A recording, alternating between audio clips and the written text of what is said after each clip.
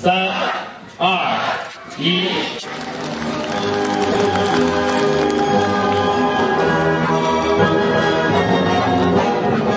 各位朋友，今天参加武林大会的朋友们，大家新年好！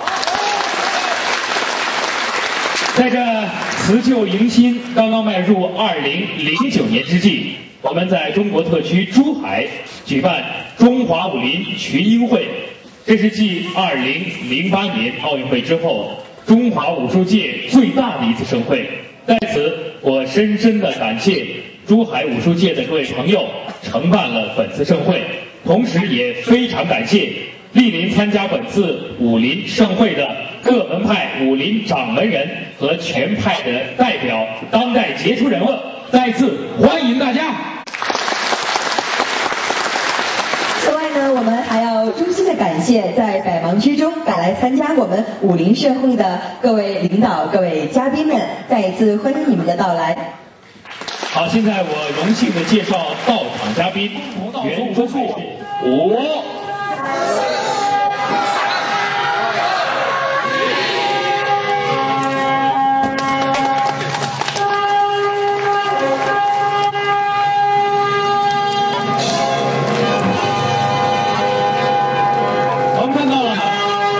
功夫之源，影响世界。中华武术博大精深，源远流长，功夫之源影响世界。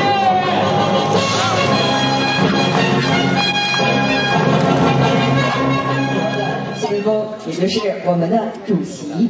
哎，说到这个开国领袖，大家马上想到的是伟大的毛主席。对那么有请毛泽东的扮演者带来重温经典的一幕，掌声有请那我。们接下来呢？毛泽东来看你们来喽！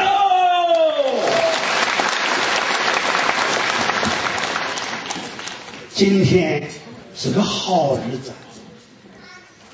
是中华武林群英大会胜利召开的日子。马克思和两天假，要我来这里祝贺中华武林群英大会胜利召开。无所创，蔡家拳以快为主，快速灵巧，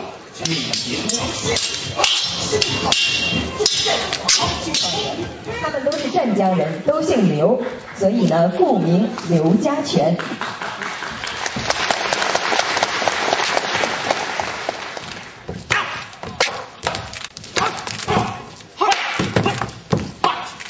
这是李家拳。李家拳是南拳流派之一，相传文化遗产。目前，惠城区河南岸街办所采取的一些。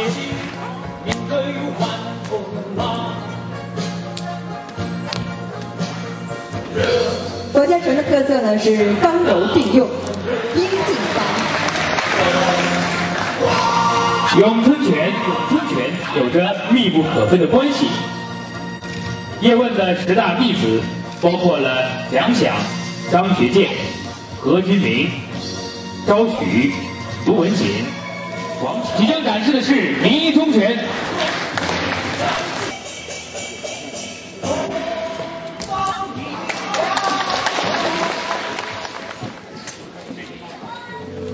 李正大师带着他的弟子在场上表演的是他于二零零七年创编的太极拳三十六。